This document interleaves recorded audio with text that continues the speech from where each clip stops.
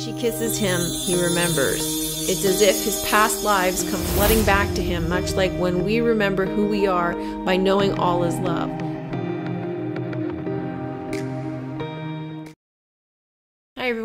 I've got a little something different for you today for Vlogmas. I did a breakdown of the New Zealand baby battle because the video of the police taking the baby from the parents in the hospital is making people lose their minds. And I need to say it's a staged event. So I spent my day doing that. Um, unfortunately, I ran out of time. Um, I didn't do a decode, just a breakdown, but it is an interesting case nonetheless, and it also copies the format of previous staged events of police taking people away back in 2020 that I covered, so I made a brief comparison to those events as well. And while you're over there, if you have not seen my other decode videos, please take a moment to watch them because there's some really interesting codes being revealed as of late. The most interesting is the pattern revealed on these events that started happening on the 8th of each month since August 8th with Olivia Newton John's death. Oddly enough, this video of the baby taking was released last night, which would make it December 8th. But since I haven't done a decode, I don't yet know if it's connected. Maybe you can spot some connections if you've seen my other videos. This weekend, my sister's coming for Christmas, so I don't know if I'm gonna have time to do a proper video for Vlogmas. I'll have to see what I can do to get something out, but I was hoping to get out ahead of this weekend with some pre-recorded videos, but each video was taking at least four hours to make, and I have no idea where the time goes. So it might have to be something light until Monday. The link to the video is in the description box. I will talk to you tomorrow. Have a great night, and here's a teaser. Bye for now. The story behind this is this couple lost custody, temporary custody of their child through a court case with the hospital because they have a baby who needs an operation and they want the baby to get unvaccinated blood. So they took the hospital to court over the right to have say over having unvaccinated blood and they allegedly lost the case. So the hospital has temporary custody over their baby to perform this procedure against the parents' wishes using vaccinated blood. So this is the story. And now they're documenting their journey on a cell phone for all to see. For a surgery that's scheduled and that can't be changed, well, it can be changed. I, I think, like, so baby needs as much rest as possible so that he can. Excuse me, what are you doing? Yeah. No, don't, don't do that, boys. All right, there's just a few things to point out here. First of all, why are they filming? They're not really saying very much. They just started filming for what reason? Well, the reason they started filming is because they knew that the cops were going to come in to take their baby and they wanted to catch it on video. Hey, don't do it.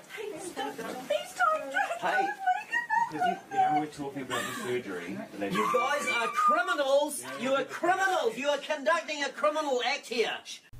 So the news story goes that the baby needed to have a pre-op examination. They came in without telling the parents what was going on, and so the parents are outraged and they think that their kid's being kidnapped, which is ridiculous. I mean, a normal reaction would be to ask what's going on. But there's no way that any hospital would ever do anything like this, no matter what the situation. You would always inform the parents, always. This reaction is over the top.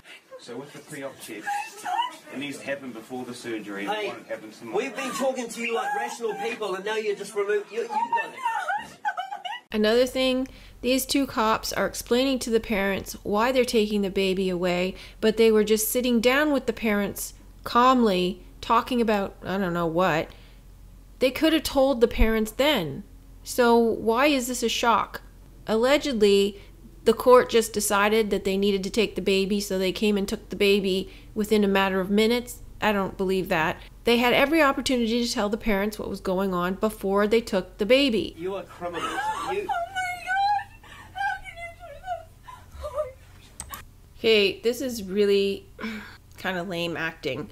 A parent who sees that their baby is going to be taken away would not react this way. A woman whose child is being threatened, you cannot stop her. She would plow past these cops and grab her baby. Everyone involved in everyone in this room is upset about the situation. I don't want to be here. Everybody in this room is upset. I don't want to be here.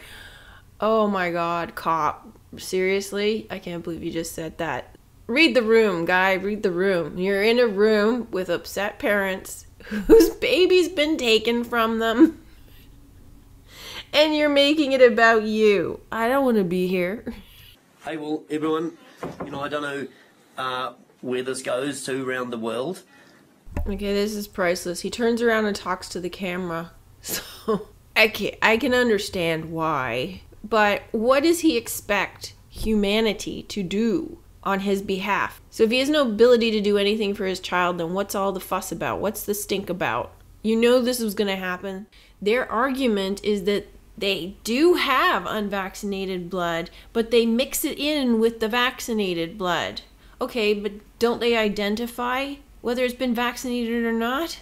I mean, surely you keep a record of this sort of thing. Otherwise, how would you know? How would you know that this baby's received vaccinated blood? They're talking out of both sides of their mouths again. So if they have both and the parents say, I want unvaccinated blood for my baby, then why not just give it to them? What is the big deal? What is the issue here? Well, the issue is that they need to make a big drama out of it to stir up the passions of the people to get them all up in arms fighting over it because it's all a big show.